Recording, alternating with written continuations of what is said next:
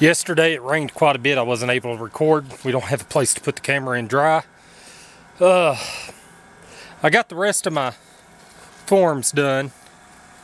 Got the top, the board that runs across the spreaders on there.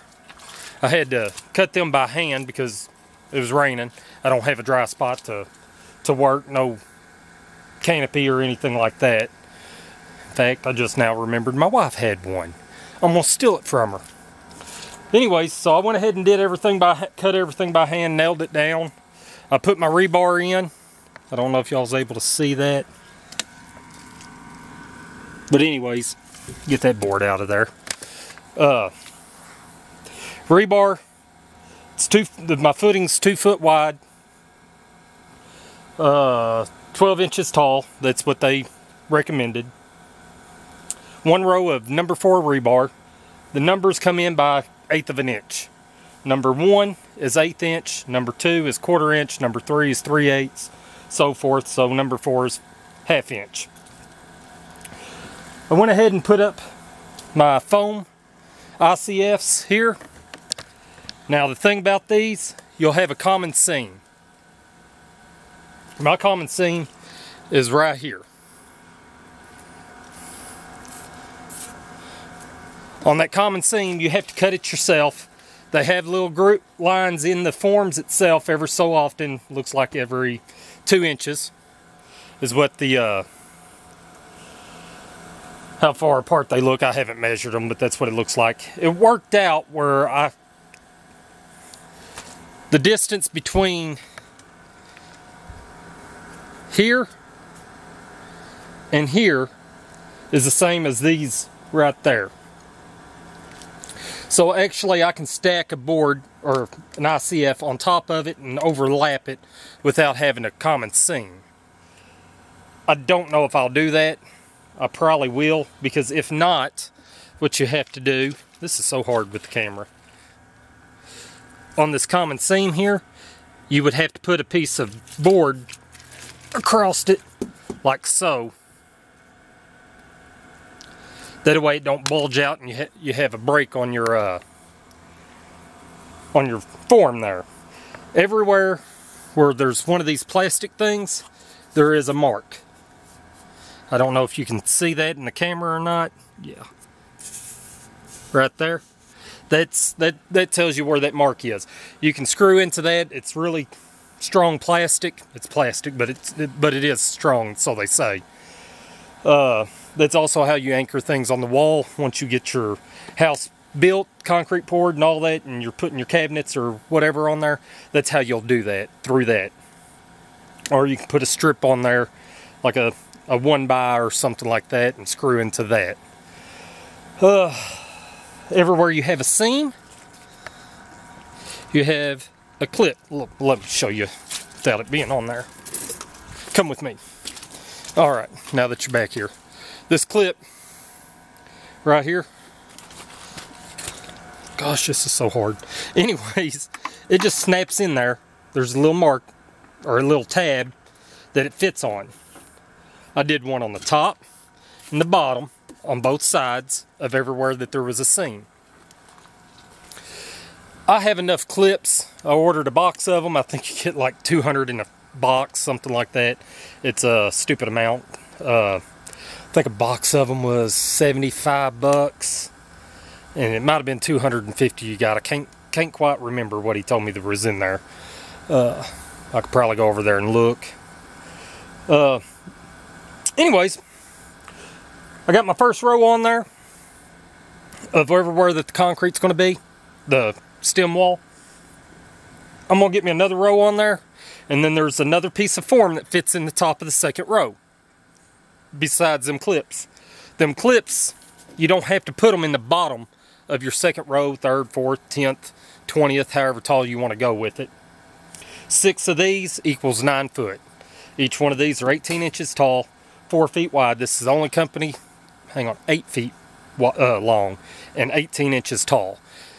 It's the only company that makes them eight foot. They're also reversible, so there is no top or bottom. So if you have to cut one completely in half to make an eight foot wall, you go ahead and do that, and it gives you two pieces. That's about it. Other than that, watch us put it up. Oh, rebar. It has a spot for rebar in it. Right there. The next, on my next row, I'll put it in this groove. The next row, this one, this one, this one, this one. Stagger it. And then your uprights, your, your verticals, will go right down in between it and it'll keep it from moving this way. And all you got to do is bend the top of it and it sets in there. Now, supposedly you don't have to put any uh, wire on it. I'm going to, just a little bit. It just makes me feel a little bit safer. And then on your rebar, anytime that you lay two pieces together, you don't butt them up, you always leave at least two foot from the end of one piece all the way to the other end. Leave, well, I say two foot. What it is, is 40 times the diameter of the rebar. I'm using half inch rebar, so technically that's 20, 20 inches. I don't care if it's 30 inches. A little more don't hurt nothing. A little less is probably okay, but I tried to go at least 24 inches on everything. And pretty much all my rebar is. There's a couple of pieces that's a little shy of that. A little too shy probably. Uh, working in the rain, I wasn't having a good day. One other thing before I get started. These little black tabs here. Let me see if I can't show you on this one. Okay, they're rigid. They got like little teeth in them. The next piece will fit on that and clip into place. From my understanding, this is the only ICF that does that. Uh, they the other ICFs probably have another way that they snap on there. Uh, if you mess up and put it in the wrong spot, all you got to do is hit it and it'll pop right off. Put, put it back in the spot that you need to. My forms are 8 inches wide worth of concrete five inches of insulation on both altogether, two and a half on each side. Supposedly it comes out to an R value of 52, I believe is what I was told. That's if you built a wall and that wall, let's say you built a one foot thick wall, because that's what I'm going to do on my parts that's not insulate or not ICFs. I'm gonna go one foot thick with uh, dense packed cellulose. I like cellulose. Fiberglass is fine. I just believe cellulose is better. That's my opinion. Everybody has their own.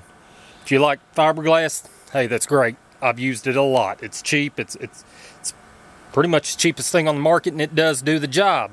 Cellulose ain't much more expensive, and I believe it does the job better. It has other properties to it. Uh, I know some cellulose, depending on where you get it, is supposedly mold resistant, mildew resistant, uh, fire retard, uh, and I just believe it actually insulates better because it packs in, you can get it packed in tighter and stop airflow. That's where these come in at, at being an R52 on your insulation value. You would have to build, by the time you consider the air seal on it, that's very important, air seal in a house. You can lose, they say, 30% of your heating cost through not having it air sealed. You air seal it, you can save up to 30%. And that's depending on how good your house is built anyways, how tight. Uh, air is not going to flow through concrete. Not, not, it just ain't going to do it. Plus the five inches of insulation that's on here, what is that like 30 uh, that'd be 28 30 32 whatever of insulation value of, for, through the foam concrete really doesn't have an R value but because it's air sealed and you can use it for a thermal battery the the mass of the concrete when it warms up in the wintertime well even though you have insulation on the ends of the wall, it will still put off heat into the house. In the wintertime or in the summertime, it will absorb the heat and keep it from coming into the house. Is the best way I can, the easiest way I can explain that. Uh, so, because of the air seal, the foam, the thickness of the concrete, concrete, four inches probably has an R value of one. So you really can't consider that a, an insulation value. Uh, it's not much. Well, wood really don't have a great R, R value either, and some people believe it does. Again, log homes, thermal battery. The wood warms up, it puts off the heat in the house in the wintertime, la da da da da. Anyways, so I'm going to have an R value of 52, basically. My outside walls are going to be the R value by the time I do my foam, uh, my closed cell foam, and for an air seal, and my dense pack cellulose, I'll have a little over 40 value on that.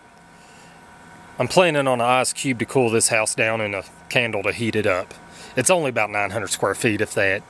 Uh, anyways, I'm gonna stack another row on it. I'm gonna put the uh, rebar in. I need to tie them two pieces down. Then I'll put the uh, other rail in it that I was talking about on the second row. It has to be on there. And then I'm probably going to put it on the third row. Might put it on the fourth row. I don't know yet. Or put it on second, the fourth, and the sixth row. If I have enough. I think I ordered enough. I can't remember. Uh, let me tie the rebar real quick. It won't take long to do. Then we'll start stacking it. And y'all can get an idea of how it goes. So, anyways, I got to put you in the sunlight. So y'all might want to get you a glass of water. Might get a little warm on you sitting in the sunlight. Well, it's got a little shade there. It stormed earlier. Like I said, it storms every day when I'm home. Okay, that's the corner. Y'all get to watch me from behind. My rebar, I just use regular old wire to tie it with if I can ever find the end of it. I will whenever it sticks me. There it is. I just row some out. I don't have any specified length.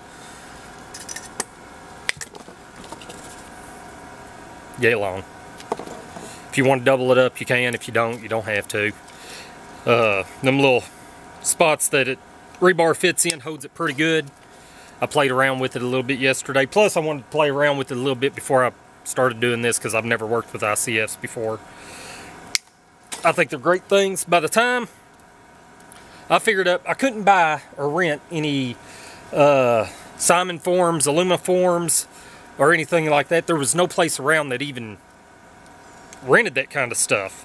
I called, I don't know, here in East Tennessee, that's where we're, we're building at. We moved from southeast Missouri from a swamp.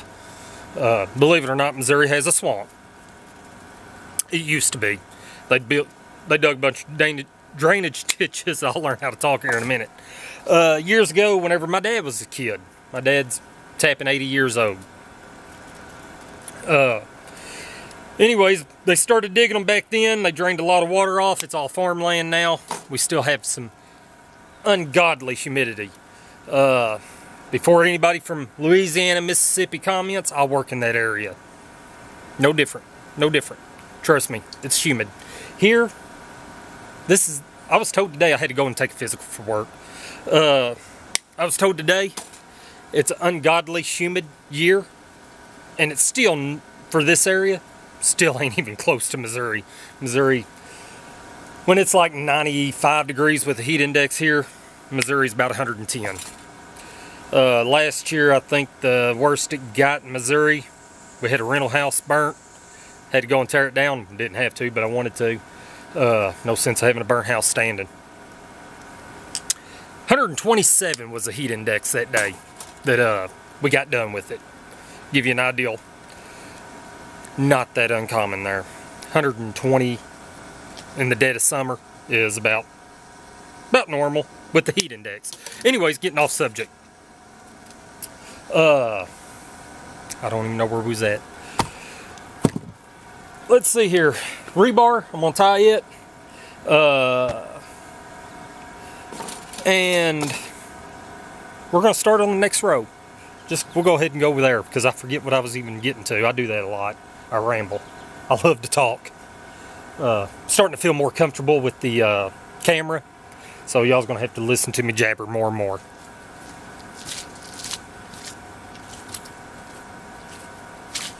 I'm not a professional rebar tire so I use this. Professionals use pliers. They're 10 times quicker than I am with this. This makes it easy for the novelist to tie rebar. cut my hand all up yesterday tying rebar because I don't wear gloves and I'm an idiot. And my wife's son is over there hiding trying to stay out of the work. Yeah, you are.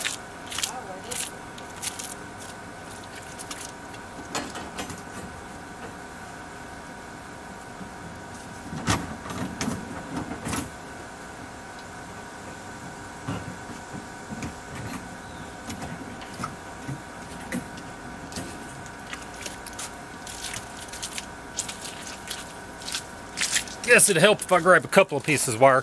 Don't have to put a tie every spot. Them things hold it pretty good. Just, I'm just doing a couple of them. Nothing, nothing major.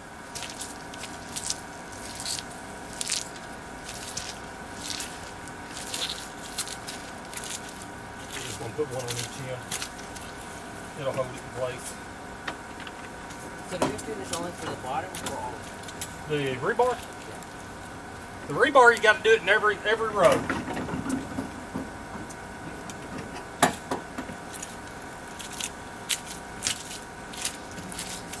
Yeah, rebar's got you got to have one layer of rebar in every row.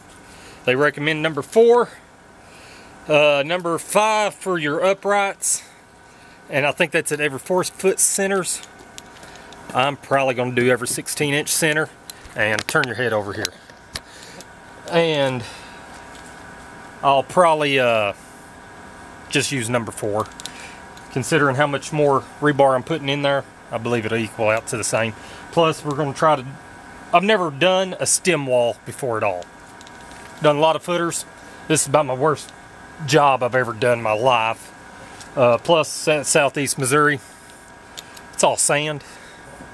You just dig a hole, walk around it, pack it a little bit, pour concrete, two-story houses stand all day long in sand like that. People buy a vibrator or compactor and compact it down. I've I've done several buildings where I've never used a compactor. This I did or tried to. Uh, in well, I did a lot of work. Lazy. I'll go over this real quick. You just hook it and hook it on your wire and spin it it does fine. If you need more of a tutorial for that, there's some great YouTube videos out there for it, I'm sure. Uh, I just, I don't know. I can show you if you want. I curl my ends up like that. That's how I do it. Put it in there, hook it, spin it. That's all there is to it. Okay, son how are we gonna do it after like? Okay, so we're probably gonna do like. Which question? Okay, so we're probably doing like five rows of this, right? Six. Six rows. How are we gonna get the rebar in the sixth row? Well, we're probably gonna have to go ahead and put the supports up.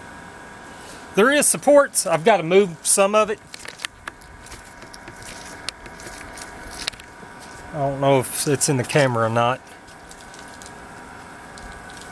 You can see them. It's hard for me to see the suns in my eyes. Those channels of, of aluminum are part of the frame. I rented them from the guy that I bought these from. The uh, I'll go ahead and tell you the brand. I don't know if they'll try to sue me. Everybody else says brand names on it. New door, new door, do new Dura is what they are. Like I said, I'm learning English today. It's my first day. I'm doing pretty good. Like I said, there are the only ones that are 8 foot long, 18 inches tall. You can get them from, I know 6 inch thick, up to over 12 inches thick.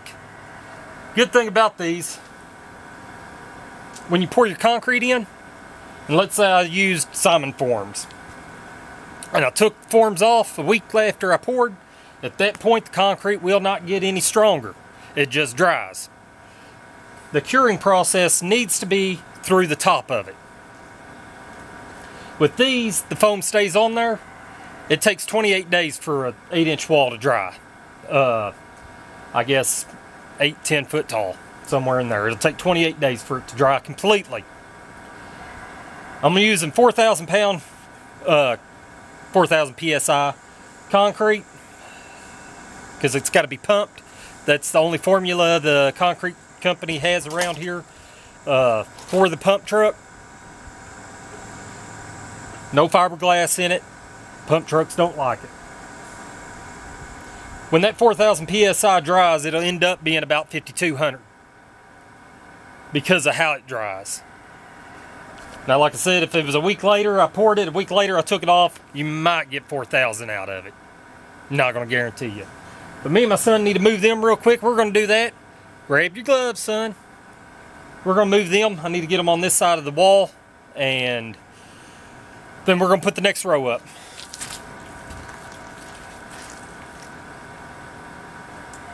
Don't think I can do it, Dad. You know why? My gloves are soaked. So is mine. See, Why don't you jump over there and grab one and hand it to me? You know what they say about wet gloves? You can't work with them. What they said about white gloves is you're going to jump over there and hand it to me.